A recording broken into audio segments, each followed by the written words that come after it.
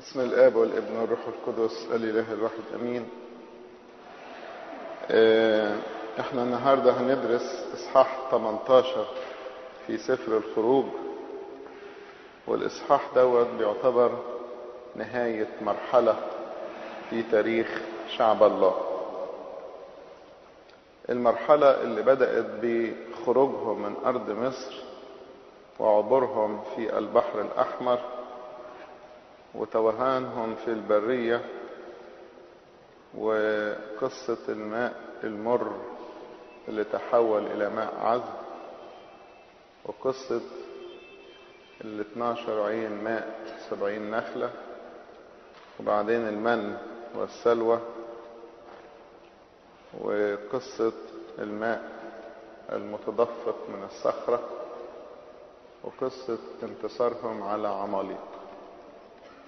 كل القصص دي بترمز إلى علاقتنا إحنا مع الله من بعد الصليب اللي هو هزيمة فرعون وبعد معموديتنا اللي هي عبور البحر الأحمر وبعدين وإحنا في البرية بيجيب لنا خبز من السماء اللي هو جسد الرب ودمه وادانا ماء من الصخرة اللي هو جنب المسيح المفتوح. وبيخلينا ننتصر على عماليق في الحرب الروحية اللي هو الشيطان. في الإصحاح 18 اتقابل موسى مع زوجته وأولاده وحماة واجتمع شمل الأسرة فده بيرمز إلى اجتماعنا إلى الله في الأبدية. بيرمز إلى اجتماعنا إلى الله في الأبدية وإن الكنيسة يتلم شملها في حضور المسيح. إيه التفاصيل بقى؟ يقول في الآية الأولى فسمع يسرون كاهن مديان حمو موسى كل ما صنع الله إلى موسى وإلى إسرائيل شعب.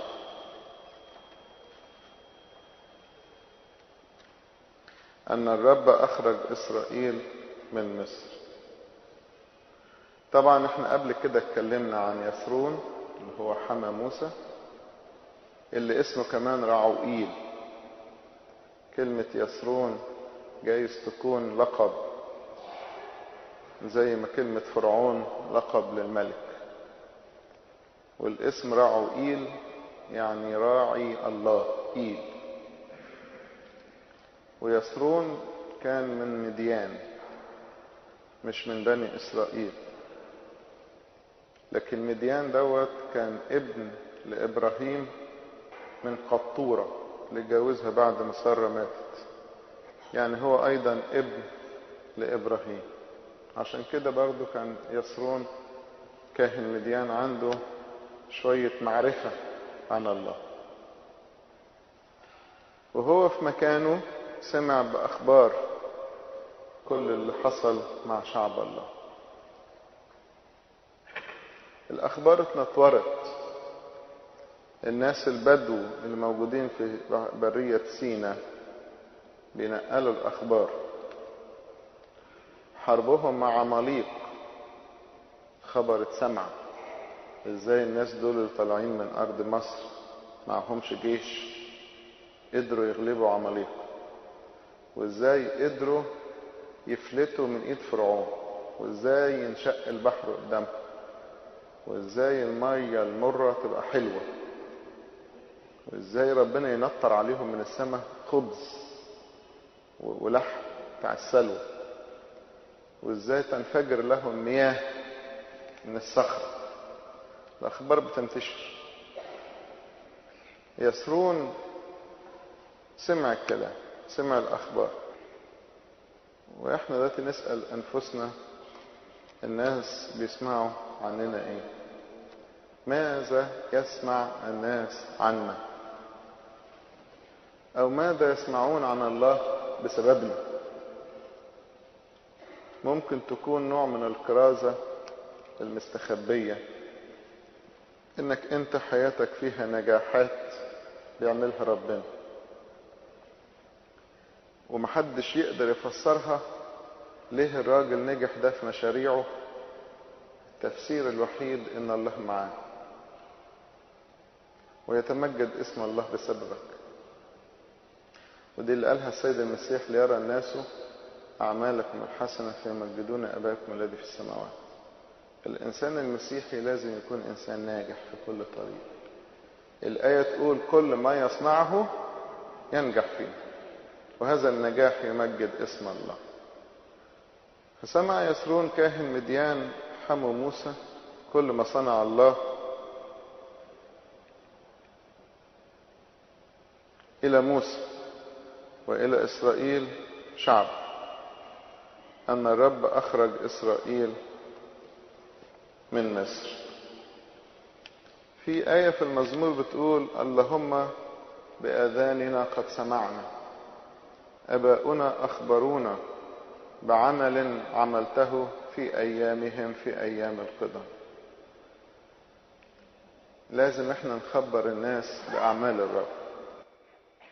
ومزمور تاني يقول أنت الإله صانع العجائب. عرفت قوتك بين الشعوب. لازم الناس تعرف قوة ربنا اللي إحنا بنعبده. مش كفاية إن الإنسان يتمتع بنعمة ربنا. ده نوع من الأنانية. إن أنا أعيش في نعمة ربنا ومبسوط بإن أنا مسيحي. لكن لازم كمان الآخرين يسمعوا عن ربنا من خلالك بأي طريقة. عمل إيه بقى يسرون؟ فأخذ يسرون حمو موسى صفورة امرأة موسى بعد صرفها وابنيها اللذين اسم أحدهما جرشوم لأنه قال كنت نزيلا في أرض غريبة واسم الآخر أليعازر لأنه قال إله ابي كان عوني وأنقذني من سيف فرعون وآتى يسرون حمو موسى وأبناه وامرأته إلى موسى إلى البرية حيث كان نازلا عند جبل الله. واضح من الآيتين دول إن امرأة موسى لم تكن معه في مصر. بينما إحنا كنا سمعنا في إصحاح رقم أربعة إن موسى أخذ مراته واولاده ونزل مصر. فالمفسرين بيقولوا هناك احتمالان. الاحتمال الأولاني إن موسى وهو راجع مصر في الطريق ساعة لما الملاك قبله وكان هيموته لأن ابنه الصغير ما كانش اتختن وساعتها صفورة ختنت الابن ومست موسى بدم الختان فانفك عنه الملاك. فاكرين القصة دي؟ وقالت له أنت عريس دم لي بيقولوا ساعتها موسى قال لصفورة خد الولاد وارجعي عند أبوك لغاية ما اخلص القصة بتاعتي ونرجع ناخدكم لأن هو عارف إنه هيرجع هو أساسا رايح مصر مش عشان يقعد. لأن الله مكلفه إن هياخد الشعب ويخرج. وهو عارف وهو خارج هيعدي على برية سينا عشان يروحوا فلسطين فقال لها استنينا بدل ما تيجي ومعاك الطفل مجروح ومش هيستحملوا المشقة بتاعت الطريق. وما نضمنش فرعون يعمل فيكم إيه فخليكم بعيد. والاحتمال الثاني إن تكون راحت معاه مصر وخرجت معهم من أرض مصر لكن لما دخلوا إلى البرية هي سبقت وراحت لأبوها ما المنطقة معروفة. فقالت له أنا هروح أقعد عند أبويا لغاية ما تعدوا علينا تاخدوني. وهي اللي سبقت وخبرت أباها بقصة الخروج والمعجزات اللي عملها الله معه. على أي الأحوال أنا بميل للتفسير الأولاني إن موسى بعد ما اخدها معاه في نص الطريق رجعها لأبوها علشان ما تتعرضش للمخاطر. إذا اعتبرنا أن موسى رمز للمسيح والمسيح عريس الكنيسة يبقى صفورة هنا رمز للكنيسة. لما موسى قال لها خليكي هنا وأروح أنا أقابل فرعون وارجع لك إشارة إلى إن المسيح يقول للكنيسة استني أنا هدخل للصليب لوحدي مش هاخد معايا الكنيسة. هدخل أغلب الشيطان لوحدي. ودي الآية النبوة اللي جت عن المسيح اللي فيها بيقول دست المعصره وحدي ومن الشعوب لم يكن معي أحد. وقال للتلاميذ تأتي ساعة فيها تتفرقون كل واحد إلى خاصته وتتركوني وحدي. التلاميذ دول كانوا رمز للكنيسة أو هم دول الكنيسة في بدايتها. تتفرقون كل واحد إلى خاصته يعني كل واحد يروح لأبوه. زي ما صفورة راحت لأبوها وتتركوني وحدي. بعدين قال المسيح وأنا لست وحدي لأن الإيه؟ الأب معي. فموسى كأنه بيقول لصفورة أنا هدوس المعصرة وحدي ومن الشعوب لم يكن معي أحد مش هتيجي معايا. ويقول لها تتفرقون هتروح أنت لخاصتك وتتركوني وحدي لكن أنا مش وحدي لأن الآب السماوي معايا. أدخل للشيطان لوحدي. ولما انتصر على الشيطان هاجي أخدك. أنت وأولادك وتبقوا معايا. زي بالظبط ما المسيح لما انتصر على الشيطان رجع تاني للكنيسة إلى من التلاميذ ويبتدي إيه؟ يبقى يقول لهم ها أنا معكم كل الأيام وإلى انقضاء الدهر.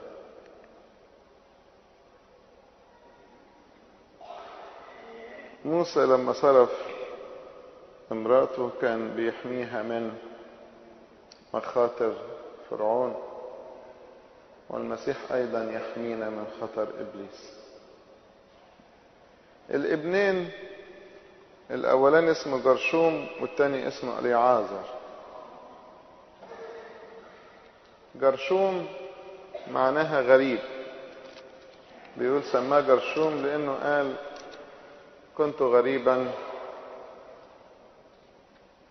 في أرض غريبة. كنت نزيلا في أرض غريبة. أما كلمة ألي عازر ألي يعني إيل يعني الله. وعازر نقدر ننطقها آزر. آزر في اللغة العربية يعني إيه؟ يساعد. يعين. يؤازر يعني يساعد. فألي عازر معناها الله يساعد الله يعين. وهو قال كده سمى التاني العازر لأنه قال إله أبي كان عوني وأنقذني من سيف فرعون. الابن الأولاني هو الغربة والابن الثاني هو المعونة. لو لم يشعر موسى بالغربة ما كانت أتته المعونة. ما كانش الأولاني جرشوم ما كانش يبقى الثاني أليعازر وحكاية الغربة دي ليها قصة طويلة مع أبائنا القديسين.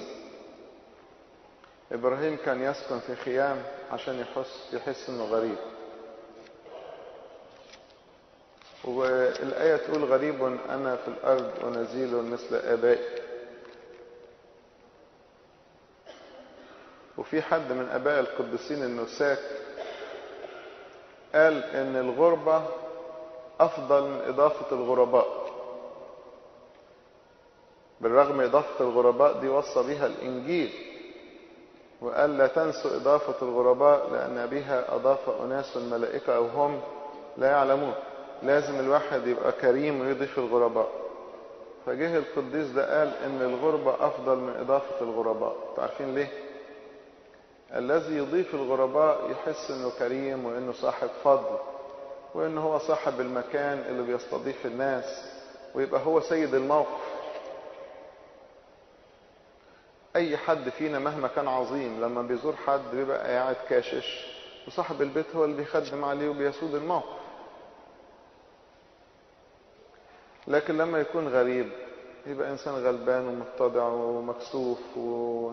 وعايز يخلي نفسه خفيف على الناس مش تقيل ويتعزم بالعافية. حاسس بالغربة فإذا كنت من النوع الذي يضيف الغرباء فأنت إنسان فاضل. وإذا كنت أيضا من النوع اللي يحس بالغربة فأنت إنسان أفضل. يا بخت الإنسان الذي يشعر بالغربة في العالم لأن هيبقى قلبه مربوط بالسماء. أول ما تحس بالغربة تلاقي ربنا يقول لك وأنا أعينك.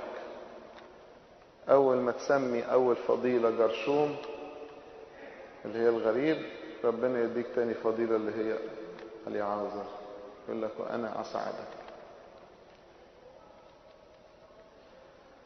الغربة فضيلة غريبة ما كناش بنفكر فيها. كيف أكون غريبا في وسط الناس؟ الإنسان الغريب تلاقيه إنسان متواضع. ما يقعدش يحكم ويؤمر. يعني مثلا إيه؟ هقول لك لو إن في واحد أول مرة يدخل الكنيسة النهاردة هو من كنيسة أخرى في حتة بعيدة يدخل ويتمتع بجمال الكنيسة ومنظرها ويقول الكنيسة دي جميلة ونشيطة وفيها حاجات حلوة ويمشي عنده انطباع حلو. ممكن واحد من شعب الكنيسة اللي واخدين عليها لأنه اتولد فيها يلاحظ إن في لمبة محروقة بقالها شهرين ومحدش غيرها فيبتدي ينتقد ويقول أنتوا ما غيرتوش اللمبة دي ليه؟ يلاحظ إن هناك حبة تراب على الدكة يشتكي يلاحظ أي حاجة فيها نقص. انشغل بحاجة يحس المكان مكانه من حقه يقول. لكن الإنسان الغريب يقول لك يا عم أنا راجل جاي أقضي ساعة وماشي لازم امسخ يعني. أقضي ساعة وأمشي. إيه رأيكم في الإنسان الذي يعيش حياته كلها بإحساس الغربة؟ يقول لك هي ساعات بنقضيها ونروح السماء أزعل الناس مني ليه؟ امسخ ليه؟ خلينا قاعدين حلوين. ساعة ما لما أمشي يقولوا الراجل ده كان طيب عمرنا ما سمعنا منه كلمة وحشة. فيبقى الغربة دي بتخلي الإنسان يقتني فضائل كثيرة. يقتني فضيلة الاتضاع الوداعة إن يبقى في حاله ما ينتقدش ما يتعبش حد ما يزعلش حد. بس اوعوا تقولوا يا رايح كتر من الفضايح. ده مثل مش بتاعنا. يقول لك أصل أنا غريب فأدبها وأمشي. لا طبعا. لازم عندما أترك هذا المكان أترك ورائي رائحة عطرة مش رائحة دخان. واللي يدخل المكان بعد بعد مضيك يقول أنا شامم ريحة بخور مش يقول أنا شامم ريحة دخان. أنتم رائحة المسيح الزكي عيشوا في الغربة تأتيكم المعونة من عند الله. يقول ابنيها اللذين اسم أحدهما جرشوم لأنه قال كنت نزيلا في أرض غريبة. واسم الآخر اليعازر لأنه قال إله ابي كان عوني فأنقذني من سيف فرعون. لاحظوا إن أبائنا في العهد القديم كانوا يسموا أولادهم بأسامي تعبر عن خبرتهم مع الله. تفتكروا لما يوسف سمى أول ولد منسى وقال ان ربنا انساني التعب. وبعدين التاني سماه إفرايم كلمة إفرايم يعني الثمر الكثير. يقول لي ان الرب جعلني مثمرا لما يوسف نفسه ولد لراحيل سموه يوسف لأن كلمة يوسف يعني يزيد. وقالوا عشان ربنا يزودنا عيل تاني. وهكذا. كل واحد بيعبر عن خبرة مع الله. وإحنا أيضا مفروض خبرتنا مع الله نسجلها بطرق عديدة. جايز حد فيكم برضو يكون مسمي أولاده بأسامي تعبر عن مواقف معينة في علاقته مع الله. موسى بيقول إله أبي كان عوني وأنقذني من سيف فرعون. ما قالش أنا شاطر وأنا حكيم. وأنا حليم وأنا أقدر أعمل اللي ما تعملش وأنا أعظم قائد في التاريخ وأنا اللي غرقت فرعون اللي محدش كان قادر عليه. مفيش كلمة أنا دي في كلمة إله أبي. إنسان يتفاخر بأعماله فتنزع منه والإنسان يفتخر بالله فيزداد. عشان كده الآية تقول أما من افتخر فليفتخر بالرب. لازم ربنا هو يكون موضوع فخرنا. إله أبي كان عوني وأنقذني من سيف فرعون. يقول كأن من غير إله أبي كان سيف فرعون يطلني ويموتني. الآية رقم خمسة. وأتى يثرون حمو موسى وابناه وامرأته إلى موسى إلى البرية حيث كان نازلا عند جبل الله. جبل الله دي كلمة تعجبني أوي. جبل الله اللي هو جبل حوريب اللي فيه موسى تقابل مع الله في أول مرة في قصة العليقة المشتعلة بالنار. وجبل حوريب دوت اللي بعد كده موسى هيطلع فيه ياخد شريعة. وجبل حوريب ده اللي كان مستخبي فيه ايليا النبي فيما بعد. فعلا يستاهل هذا الجبل إن يتسمى جبل الله. دايما الجبل يرمز للشموخ والعلو والسمو وأنت أيضا تستطيع أن تكون جبل الله لما يكون من النوع الصامد اللي مش أي حاجة تهزه ومن النوع الشامخ اللي ما يسمحش للخطايا تتسلل إليه ومن النوع العالي في هدوء. مش عالي في صخب الكبرياء. والله يتجلى على هذا الجبل وتبقى أنت جبل الله. من ضمن الألقاب اللي بنقولها للعذراء إن هي جبل الله. عذراء دي كانت جبل فعلا. وجبل الله. عجيب إن مكان من الأماكن عشان الله تجلى فيه يصير مكرس لله ويبقى ده جبل الله. فقال لموسى أنا حموك يسرون آتي إليك وامرأتك وابنها معها كلمة آتي إليك معناها إن هو مش بيقول بلسانه ده بعت له رسالة. بعت له رسالة يقول له أنا جاي لك في السكة. فقال لموسى أنا حموك يسرون آتي إليك وامرأتك وابنها معها. فخرج موسى لاستقبال حميه وسجد وقبله وسأل كل واحد صاحبه عن سلامته ثم دخل إلى الخيمة. لما قال له أنا جاي لك خرج له موسى. ودي معناها عندما أصلي إلى الله وأقول له يا رب أنا عايز أجي لك ألاقيه هو اللي خرج يستقبلني. ما يديش كل العبء على الإنسان. إذا أنت مشيت خطوة هو يمشي خطوتين. أنا جاي قال له أنا هخرج أستقبلك. لما خرج لاستقبال حميه سجد له. طبعا السجود ده إحنا شفناه قبل كده كتير في سفر التكوين. إبراهيم سجد للرجال الثلاثة اللي ظهروا له. صحيح كان في وسطهم المسيح واثنين ملائكة لكن أساسا إبراهيم ما كانش عارف إن ده الله ومعاه ملائكته بيسجد لناس غرباء. ولما وقف ربنا يتكلم مع إبراهيم وأرسل الملكين إلى سدوم يتقابلوا مع لوط لوط لما شافهم سجد لهما. ولما ماتت سارة امرأة إبراهيم وراح لبني حث يقول لهم شوفوا لي أي مكان أدفن فيه ميتي. فقالوا له في أحسن مكان تختاره خد وادفن ميتك. فيقول سجد إبراهيم لشعب الأرض لبني حث سجود هنا بمعنى الشكر والعرفان والتكريم. يعقوب لما كان هربان من وجه عيسو وراجع وسمع إن عيسو جاي قبله.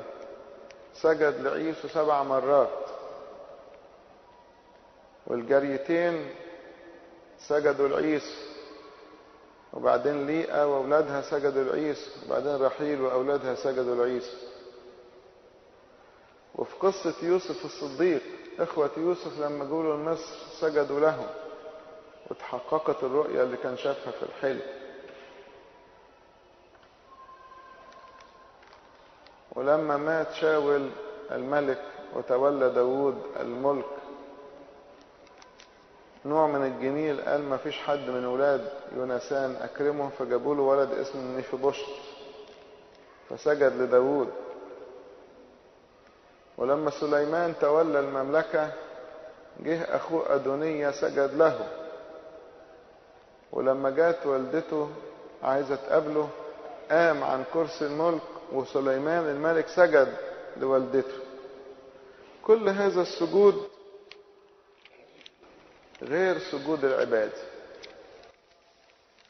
دي نوع من التحية اللي كانوا متعودين عليها وقتها وفي هذا المكان. كل شعب من الشعوب له نوع من التحية.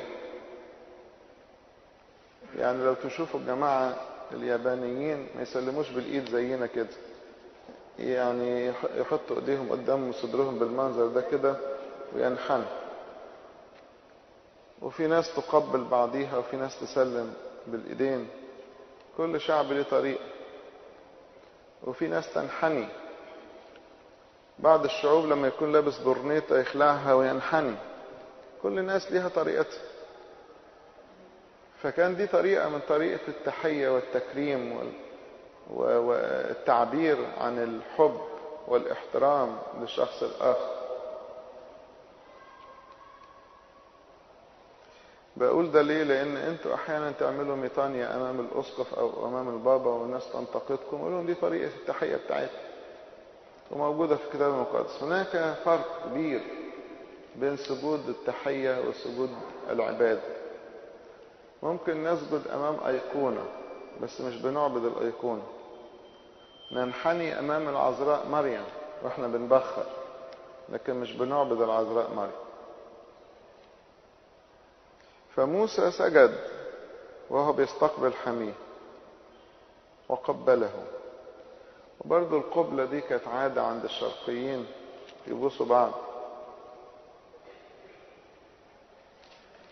في قصة أبشالوم ابن داود اللي قام ضد أبوه وعمل ثورة وانقلاب وعايز يمسك المملكة مكان أبوه. قبل ما يعمل الثورة عمل حركة مكارة أوي. إنه كان يخرج بره القصر بتاع الملك ويقف في الشارع يقابل الناس.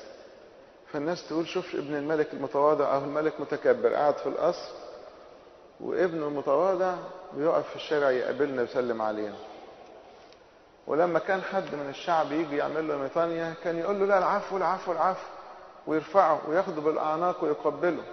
حتى لو كان إنسان بسيط مش من مقام ابن الملك. فبدأ يستميل قلوب الناس للحركة الخداعة دي. كانش قلبه مستقيم. ما كانش الحكاية دي اتضاح حقيقي ده كانت خطة علشان يخلي الناس تحبه أكتر ما تحب الملك. ولما لما حواليه الناس راح إيه؟ عمل ثورة ضد أبوه وطرد أبوه من الملك. طبعا بدون مشورة ربنا فانتهت القصة بأن أبشالوم ده نفسه مات وداود رجع مرة تاني للمملكة. المنظر الخارجي يقول إن أبشالوم إنسان متضع لأنه ما قبلش إن الناس تسجد له. وداود متكبر لأن بيقبل الناس تسجد. لكن حقيقة الأمر يعرفها الله لأن الله يعرف نوايا القلب. موسى لما سجد لحميه وقبله كان بيسجد ويقبل بحب وبنية صافية مش زي أبشالوم لما كان بيعمل. ولا زي قبلة يهوذا. من أشهر القبلات الرديئة الغشاشة الخداعة قبلة يهوذا. بولس الرسول قبل ما يستشهد بقليل عمل اجتماع جمع فيه الكهنة كلهم بتوع أفسس وميليتس وغيره كل الأماكن. وقال لهم عظة كأنه بيودعهم. فيقول الكتاب وقعوا على عنق بولس يقبلونه متوجعين ولا سيما من أجل الكلمة التي قالها أنهم لن يروا وجهه بعد. لما تقابل موسى مع حماه يسرون سجد وقبله وسأل كل واحد صاحبه عن سلامته. أخبارك إيه؟ كلمة سألوا عن سلامته يعني أخبارك إيه؟ زي لما يوسف اتقابل مع اخواته وقال لهم أسالم أبوكم الشيخ الذي قلتم عنه أحي هو بعد. ولما رجع أوريا إلى داود سألوا داود عن سلامة الشعب ونجاح الحرب وسلامة يؤاب رئيس الجيش. حقيقة العبارة دي وما يأتي بعدها إن موسى قعد يحكي لحماه إيه اللي حصل؟ وربنا عمل إيه معاهم؟ بتبين قد إيه مفروض تكون زياراتنا العائلية فيها تمجيد لاسم الله. أبانا القديسين لما كانوا يتقابلوا يقول كانوا يتحدثوا بعجائب الله. وإحنا لما بنتقابل بنحكي في مواضيع غريبة. أه لو نحفظ الآية بتقول أخبر باسمك إخوتي وفي وسط الكنيسة أسبحها ولما اتقابل مع أي حد أخترع الفرصة اللي نتكلم فيها عن عظائم الله. تبقى جميلة كمان لما الواحد يقولها بطريقة سلسة مش مفتعلة شوف كده أي مدخل في الكلام تدخل وتقول له ده إحنا في الكنيسة عملوا كذا. ده ربنا تمجد وعمل كذا. وتدخل في موضوع ربنا. معلمنا بولس يقول إن كان وعظ ما في المسيح إن كانت تسلية ما للمحبة إن كانت شركة ما في الروح إن كانت أحشاء ورأفة فتمموا فرحا فرحي. حتى تفتكروا فكرا واحدا ولكم محبة واحدة بنفس واحدة. لازم الإنسان كل حاجة تبقى المجد الله. لما سجد وسألوا عن سلامته دخل إلى الخيمة. الخيمة دي ترمز للغربة قلنا وترمز أيضا للكنيسة وترمز للتجسد مش قلنا الكلام ده كله؟ الخيمة ترمز للتجسد لأن بولس الرسول سمى الجسد بتاعنا نقد بيت خيمتنا الأرضي. بيت خيمتنا الأرض اللي هو الجسد. فلنا بناء في السماء. فدخل إلى الخيمة معناها المسيح أخذ الكنيسة واتحد بها في خيمة واحدة. شوف مين اللي دخل. يسرون. أبو مرات موسى. يعني أبو البشرية. أبو الكنيسة يعني آدم. وصفورة اللي هي زوجة موسى كنيسة. وجرشوم وأليعازر أولاد موسى أو أولاد صفورة يبقى أولاد الكنيسة كلهم دخلوا في خيمة واحدة الكنيسة الواحدة المقدسة الإيه؟ الجامعة. موسى من نسل إبراهيم وإسحاق ويعقوب. أما يسرون وصفورة من نسل مديان. يبقى إشارة إلى اجتماع اليهود والأمم في خيمة واحدة اللي هي كنيسة العهد الجديد. لما دخلوا بقى فقص موسى على حميه كل ما صنع الرب بفرعون والمصريين من أجل إسرائيل. هو صحيح يثرون كان سمع القصص بس أخبار متنطورة. فقال لموسى احكي لي إيه اللي حصل؟ ده أنا سمعت كلام نفسي أعرف حقيقته. وبدأ موسى بلذة روحية يحكي له قصة الله مع شعبه زي بالظبط لما يكون في حد مسافر بره وأول ما يرجع نلتف كل الأسرة حواليه احكي لنا إيه أخبار رحلتك عملت إيه بره ففي واحد يبدأ يحدث بعجائب الله وعظائمه. وفي إنسان يقعد يحكي كلام فيه تسلية.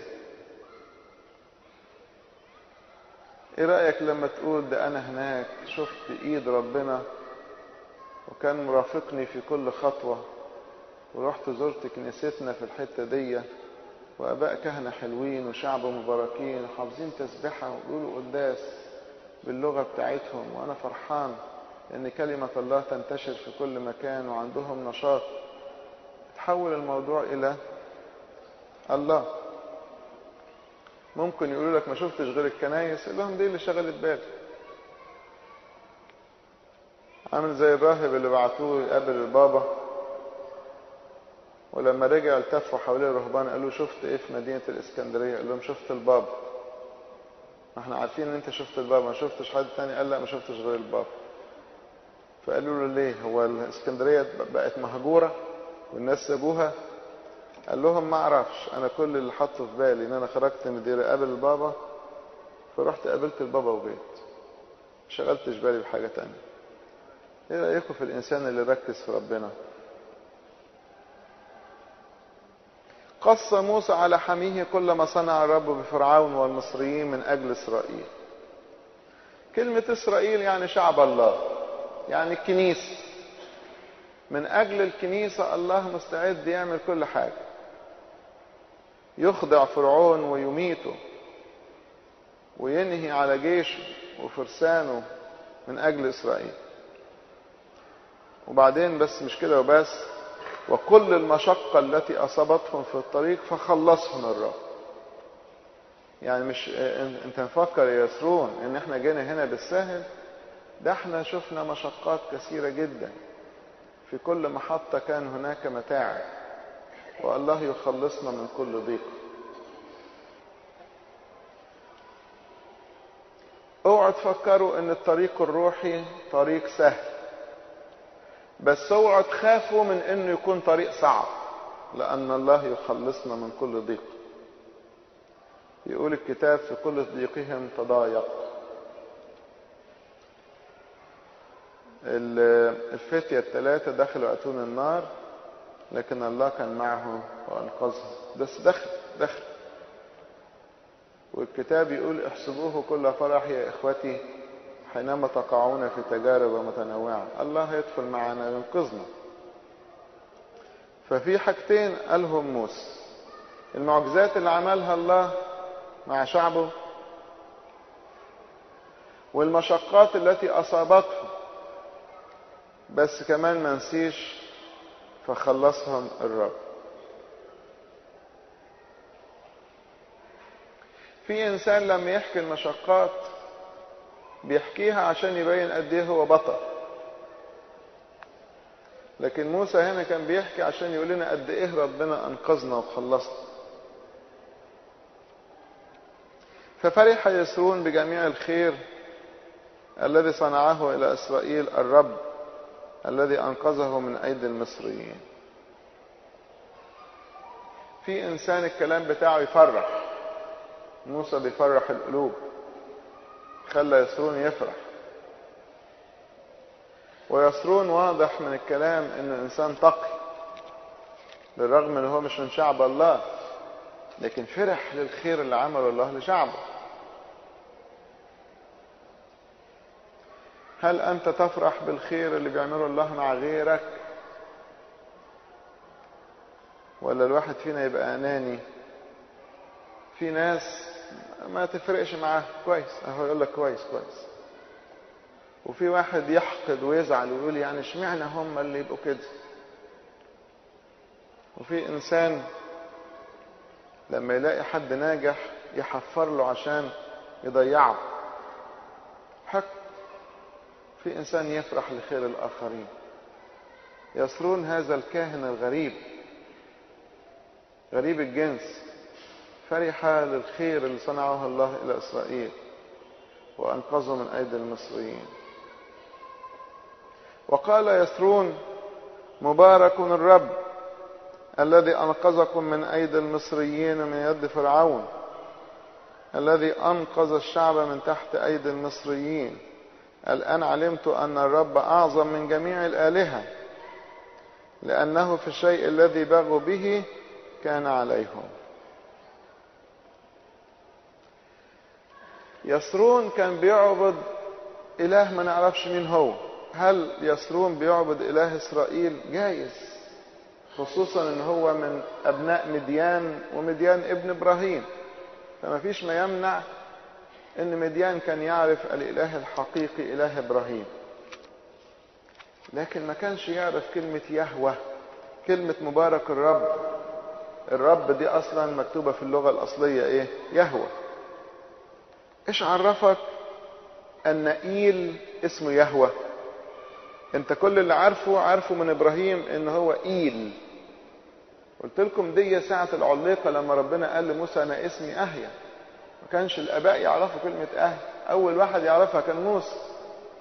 يسرون أنت عرفت إزاي إن الإله اسمه يهوه يقول اللي جاور السعيد يسعد أنت عارف أنا قاعد مع مين دلوقتي؟ قاعد مع موسى. فلابد ان يكون خبره باسم الرب. فيقول مبارك الرب. إيه رأيك لو أنت قعدت مع واحد غير مسيحي أو غير متدين أو ما يعرفش ربنا. ومجرد قعدت معاه بدأ يمجد اسم الله.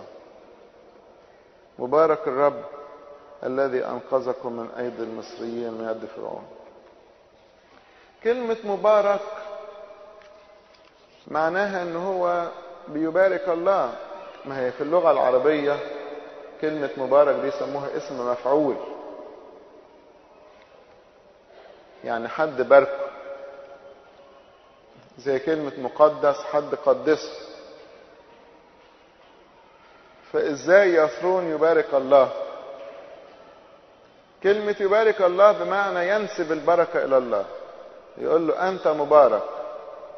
زي ما إحنا في البسخ بنقول لك القوة والمجد والبركة. أنت لك البركة. ينسب المجد والبركة والتقديس إلى الله. ملكي صادق لما قابل إبراهيم وهو راجع من حربه قال مبارك الله العلي الذي أسلم أعداءك في يدك. إبراهيم لأنه انتصر بمعونة ربنا خلى ملك صادق يبارك الله. وآدي موسى لأنه انتصر بنعمة ربنا خلى يسرون يبارك الله. والموقف هنا متشابه لأن ملكي صادق كان ملك سليم وكان كاهن لله العلي بالرغم إنه ما كانش من أبناء إسرائيل ولا أبناء إبراهيم. وأدي هنا يسرون كان ملك للحتة دي وكان كاهن مع إنه مش من نسل اسرائيل والاثنين عرفوا إله إسرائيل بسبب رجال الله القديسين. في سفر صمويل الثاني. واحد اسمه أخي معص قال للملك السلام وسجد للملك على وجهه إلى الأرض وقال مبارك الرب إلهك الذي دفع القوم الذين رفعوا أيديهم على سيد الملك. ما أجمل أن يبارك الناس الله بسببك. وعندما تمت البشارة بميلاد المسيح وولد يوحنا المعمدان زكريا قال مبارك الرب إله إسرائيل لأنه افتقد وصنع فداء لشعبه. يجب أن نبارك الرب في كل حين. مبارك الرب الذي أنقذكم من أيدي المصريين ومن أيدي فرعون. هنا تسبيح الله بخبرة. مبارك الرب ليه؟ لأنه عمل كذا. خبرة العمل الإلهي في حياة البشر. وده اللي بنعمله في التسبيحة اليومية. نصلي الهوس الأول بنمجد فيه ربنا اللي أنقذ شعبه وعبره في البحر. الهوس الثاني بنمجد فيه ربنا اللي أنقذنا من عبودية إبليس وأعطانا خبز الحياة. الهوس الثالث بنبارك فيها الله لأنه أنقذ الفتية الثلاثة من أتون النار. وهكذا. فإحنا نبقى بنمجد ربنا على أعماله اللي بيعملها معانا. وبعدين يقول يسرون الآن علمت أن الرب أعظم من جميع الآلهة. دلوقتي بس عرفت يقول آه لأن شفت موسى وعرفت موسى. ممكن الناس يكون لهم آلهة كثيرة يثقوا فيها. إنسان يثق في المال وإنسان يثق في صحته وقوته وإنسان يثق في حكمته وذكائه. هي دي الآلهة بتاعته. وآخر يثق في المعارف والناس المسؤولين الكبار اللي بيعتمد عليهم وعلى معرفتهم. واحد يثق في يهوى فقط. وبعدين تيجي انت اللي بتثق في الله فقط مالكش حاجة لا عندك فلوس ولا عندك معارف ولا عندك صحة ولا عندك أي حاجة. رأس مالك الوحيد هو خوف الله. وأنت الوحيد الذي تنجح وتنجو. فيبتدي الناس اللي عندهم آلهة غريبة يقولوا الآن الآن علمت أن الرب أعظم من جميع الآلهة. الله يتمجد فيك. يقول لأنه في الشيء الذي بغوا به كان عليهم. كلمة بغى يعني ظلم أو افترى. في الشيء اللي افتروا فيه كان ربنا عليهم ضدهم يعني. إيه اللي بغوا بيه تفتكروا معايا؟ في أول إصحاح لما لقوا إن بني إسرائيل بيكتروا فرعون قال هلما نحتال لهم. نحتال يعني نفكر في حيلة. طب الناس دول قاعدين في سلام وأمان وما فكروش في الشر. تحتال ليهم ليه؟ ده افترى. هلما نحتال لهم لئلا ينمو. فيكون إذا حدثت حرب أنهم ينضمون إلى أعدائنا ويحاربونا ويصعدون من الأرض. طب أنت ليه بتظن السوء؟ ده بغي. ده إنسان بيفتري. وبعد جاب الدايات وقال لهم لما تولدوا العبرانيات إن كان ابنا فاقتلاه وإن كان بنتا فتحي. طب ليه عملوا لك إيه؟ إيه ذنب الأطفال الصغيرين يتقتلوا وهم لسه مولودين؟ ولما الاثنين الدايات دول خافوا الله ما عملوش كده أمر فرعون جميع شعبه. قال لهم كل ابن يولد تطرحونه في النهر. لكن كل بنت تستحيونها. ده مش افترى ولما راح موسى يقول له خرج الشعب قال لهم متكاسلون أنتم متكاسلون. وراح أمر إن هم ما يدوش للشعب تبن عشان يعملوا الطوب. وقال لهم اجمعوا لأنفسكم تبن والمقدار اللي كنتوا بتسلموه كل يوم من الطوب هو بعينه. مش كل دوت افترى؟ ويقول لموسى من هو الرب؟ حتى أسمع لقوله فأطلق إسرائيل. لا أعرف الرب وإسرائيل لا أطلقه. منتهى الجفاوة. عشان كده يسرون قال فعلا إلهنا ده إله عظيم أعظم من جميع الآلهة. نحميا يقول أظهرت آيات وعجائب على فرعون وعلى جميع عبيده وعلى كل شعبي أرضه لأنك علمت أنهم بغوا عليهم وعملت لنفسك, لنفسك اسما كهذا اليوم. الإنسان اللي بيفتري ربنا يسيبه يسيبه يسيبه وبعدين ينزل يحطمه لأن الله ما يحبش الافتراء. ما يحبش الإنسان يكون قاسي القلب على الآخرين. في أرمية يقول إيه؟ ادعوا إلى بابل أصحاب القصي أصحاب القصي اللي هم معهم الأسلحة يعني. لينزل عليها كل من ينزع في القوس حواليها. يعني كل أصحاب الأسلحة تعالوا عشان هنضرب بابل. لا يكون ناجن مفيش ولا واحد هينجو. كافئوها نظير عملها. أهو ربنا بيقول كده على كل واحد كافئوه نظير عمله. افعلوا بها حسب كل ما فعلت طبعا لو الإنسان عمل خير ربنا يكافئه بالخير. عمل شر يكافئ بالشر لأنها بغت على الرب على قدوس إسرائيل. حكاية الذي بغوا به كان عليهم فسروها بعض الناس إن الضربات العشرة كانت موجهة إلى آلهة المصريين. أنت بتتعافى عليا ليه؟ عشان عندك آلهة؟ طب هوريك الآلهة بتاعتك دي إيه مقامها؟ ما هو فخر مصر؟ النيل؟ بيعبدوا النيل؟ طب يحول النيل إلى دم. بتعبدوا الضفادع؟ إلهة الخصب؟ طيب أنا هخليك تزهق من الضفادع وتجحدها وترموها في النهر. الكهنة بيهتموا بالنظافة بتاعتهم عشان يقدموا الذبائح للآلهة. طب هملى البلد بالبعوض وخليكم كلكم تقرفوا من البعوض دوت ما يبقاش فيه نظافة. بتعبدوا إله اسمه الذباب اللي هو بعل زبوب. طب أنا هخلي الذباب يأذيكم. بتعبدوا البقرة هجيب وباء على المواشي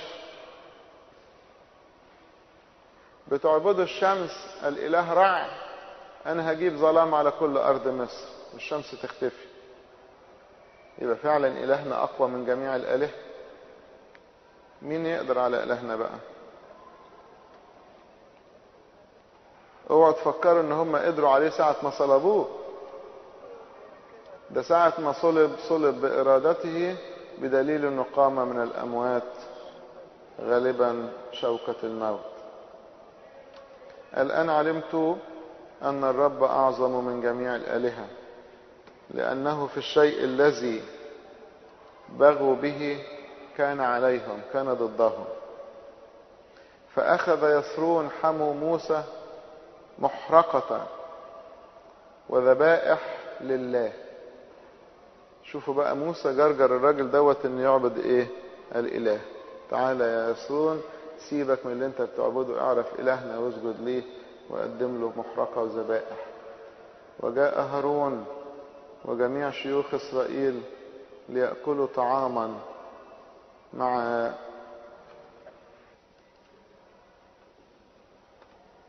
ليأكلوا طعاما مع حمي موسى أمام الله. بعد ما قدموا ذبائح جه هارون ده رئيس كهنة وجميع شيوخ إسرائيل وقعدوا مع حمى موسى ليأكلوا طعاما أمام الله. إيه حكاية طعام أمام الله دي بقى؟ بعد ما ذبحوا الذبيحة قعدوا ياكلوا طعام أمام الله. إنها إشارة مبكرة جدا لسر التناول. ناس بتاكل أمام الله. واجتمع في هذه الأكلة موسى اللي هو رجل الله النبي وهارون اللي هو رئيس الكهنة وحمى موسى اللي هو من الأمم وزوجة موسى اللي من الأمم وجرشوم وأليعازر أولاد موسى اللي هم نصهم أمم من أمهم ونصهم يهود من أبوهم. الجميع اجتمعوا في خيمة واحدة ليأكلوا أمام الله. لم يذكر الكتاب عبثا أنهم يأكلون طعاما أمام الله. ليه قال كلمة أمام الله دي؟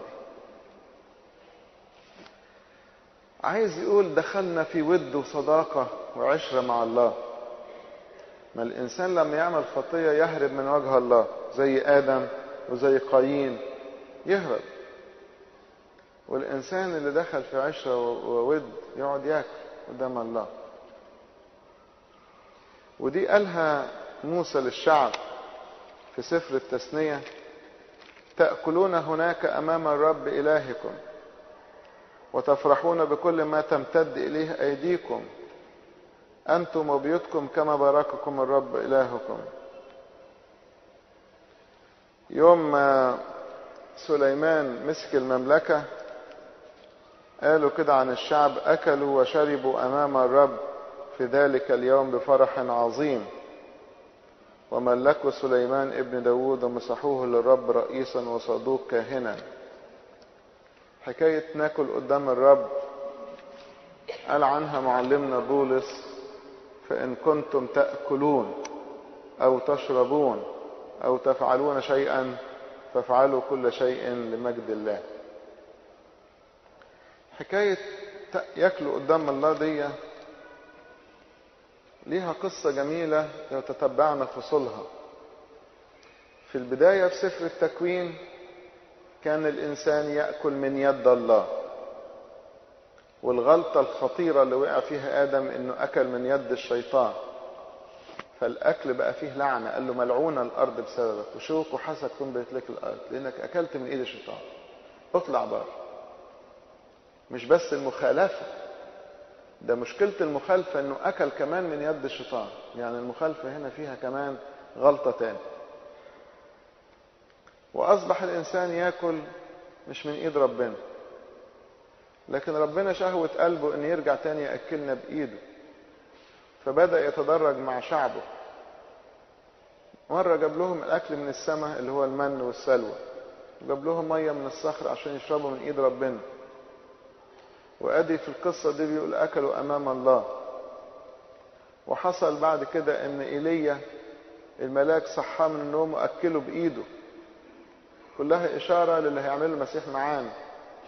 وتمر الأيام ويجي ربنا بالجسد فتلاقيه يعمل إيه؟ يدخل بيت مريم ومرسى وياكل.